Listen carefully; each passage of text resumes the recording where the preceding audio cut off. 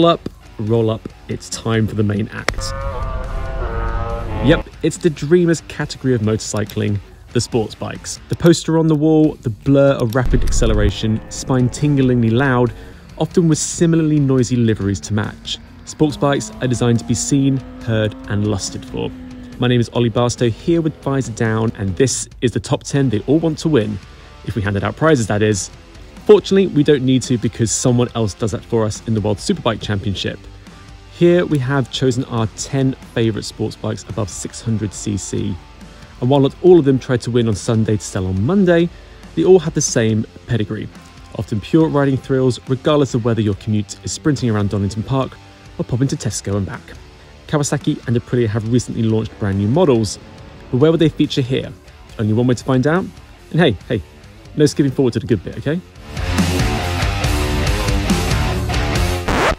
Okay, okay. I can hear the collective groan from here. That's partly because you won't hear much noise coming from this, the Energica Ego, otherwise. Yes, electric has a long way to go for various reasons, but the Ego deserves its spot here because it was way before all those electric buzzwords were cool. A startup company bidding to have its tyres planted firmly in a sizzling slice of electric market pie before others eventually join, the Ego is already in its second generation. It's a massive step forward in terms of performance and range. It has an equivalent 140 horsepower and can hit 150 miles an hour. Modest figures on paper, but the Ego comes alive in its one huge strength, and that's acceleration, which is 0 to 60 in 2.6 seconds. Yes, it's a bit cumbersome to ride, the design is rather bland, and the lack of noise is, well, it's everything to most of you. But as a brand doing this its own way, on its own, it sets a decent standard for the time it exists in. There is something about the Suzuki GSXR 1000R that we just can't help but love. It looks a touch gawky, it's definitely showing its age, and it has slipped behind in the modern 1000cc sports bike race in terms of power. However, the Gixxer remains charismatic in sheer heritage alone, while its engineering is second to none and it still has the measure of many rivals on certain roads. Considering Suzuki's somewhat glacial approach to model development, the GSX R1000R might be here for a while longer to soldier on, but with tempting prices, it's competitive for discernible appeal alone.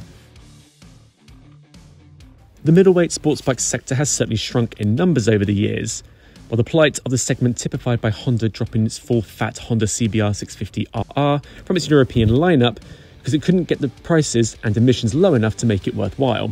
As such, Honda's faired midi sports bike is the CBR 650R, a touch warmer than warm but not hot enough to dunk a teabag in. If this was a cheeky Nando's, it'd be medium but lavished in sauce. So what does this all mean? Well, the CBR 650R wears all the trinkets and decals to mirror its tearaway brother, and the 94 brake horsepower four cylinder engine is flexible and eager enough to keep up with the most. Perhaps more importantly, if you're a rider in the early stages of your time on two wheels, the CBR 650R is the most forgiving but still enjoyable big boy sports bike out there.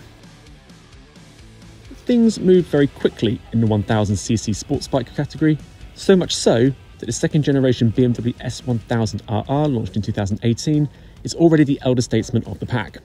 Indeed, while the S1000RR isn't old per se, its slide down the pecking order is steepened by the way rivals have all brought something new and interesting to the superbike party. It's also no longer the flagship of the BMW range, thanks to the launch of the M1000RR, which doesn't look all that much different, but it's almost double the price. Like the S1000RR, the Yamaha R1 is barely a toddler in human age, but in sports car terms, it is already middle aged, worrying about the younger models stealing its spotlights coming up through the ranks. With the latest nip and tuck occurring towards the end of 2019, the R1 is attractive in an understated way. It saves its wow factor for the roads, where Yamaha's decades of honed engineering manifests into an involving ride that, while not the most powerful out there, it can extract the maximum of every horse. However, the R1 is coming up to face an interesting new threat very soon, and it's a threat coming from within Yamaha's fold. We've just had the launch of the brand new Yamaha R7, which not only replaces the R6, but by taking things up a notch, it is sliding closer to R1 territory than ever before. But surely that would risk taking sales from the R1. Well, we think Yamaha would just have to make the R1 bigger and more powerful than ever with its next generation. And we may not have too long to find out. The Aprilia RSV4 has transcended into the stalwarts of the sports bike class, one that, despite its relative age, continues to hit certain notes so sweetly you wonder why you waited until 2021 to buy one.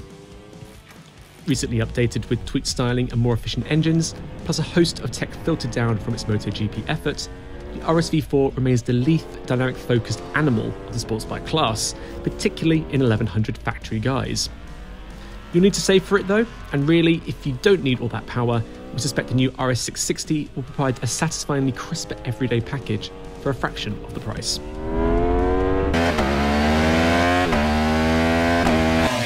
The Ducati Panigale V4R is really in a class of its own within the sports bike ranks at times.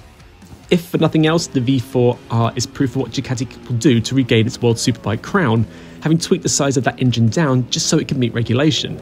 Through and through, this is peak engineering that is both muscular and yet elegant. It's also devilishly fast with 210 brake horsepower, it's stylish in a way that only Ducati could get away with, and every ride is a treat. In a world of Hondas and Suzukis, no disrespect to them, this is the Ferrari. However, while the Panigale V4R is the ultimate sports bike in concept, the bump to earth reality is a price tag of £35,000. I'll let that sink in for a second, maybe do a quick currency conversion depending on where you are in the world, but that's a staggering 12,000 more than the Honda Fireblade SP. Now, the V4R is good, but is it £12,000 better than a CBR 1000 RRR? No, perhaps not. Aprilia's sports bike ownership has for a long time been pinned to each end of the scale, with first time buyers marking their first miles on an RS125, but an RSV4 sports bike, it shows you've really made it in life. However, since no smart rider would consider 125 to 1100 in one ambitious leap, Aprilia has essentially been a game of beginner and expert with no intermediate level in between. This has all changed now though with the launch of the all new RS660, a dynamic focused take on the middleweight class that oozes Aprilia quality, knowledge, and attention to detail. Indeed, Aprilia has set to carve out a niche for itself with the first of three models on the 660 platform. The result is a bike that, while underpowered and overpriced on paper, it takes just moments to realise its exceptional, agile, and balanced handling doesn't need any more power than it has. Rivals a better value, but it also don't come close to the same level of track home technology and its premium image.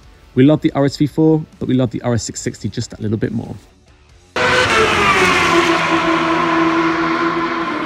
A lineage that is as esteemed as it is at times bonkers, it's fair to say the Honda Fireblade has become somewhat mellower in recent years, Honda chasing sales by making it accessible for newcomers, while in turn softening its edge. So trust Honda to be the first to cry not enough at its own creation. After all, why can't a sports bike be a powerful, engaging bullet of a bike and not be easy to ride and reliable at the same time? The result is this the Honda CBR 1000 RRR is it it like a typo, but more R's can only be a good thing. So we can't wait for the 15th generation CBR 1000 RRR R R R R R. Alphabet soup or not, Fireblade, now in its seventh generation, remains a quality product, but backs this up with some throbbing power, confidence boosting but not overbearing technology, and looks at successfully bringing the Honda CBR signature look into the 2020s. You wouldn't mistake it for a Ducati, but it exudes a similar impression that this is a bike that has only been made possible by the Fireblade's decades of evolution before it.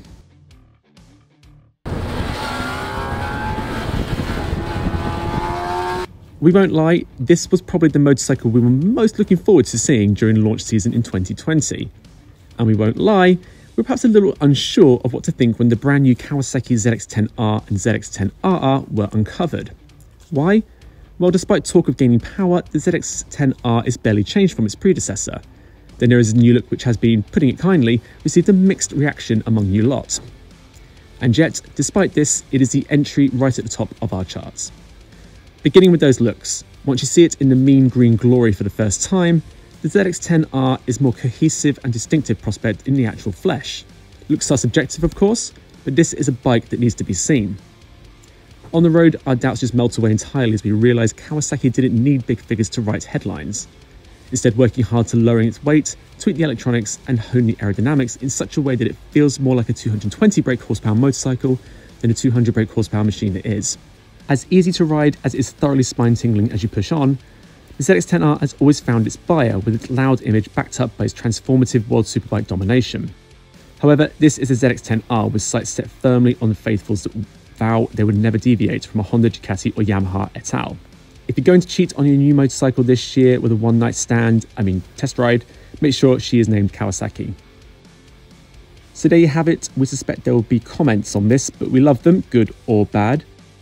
So get reacting, then like, subscribe for more of myself, Toad, and Alex sliding into your news feeds. Ciao for now, amigos.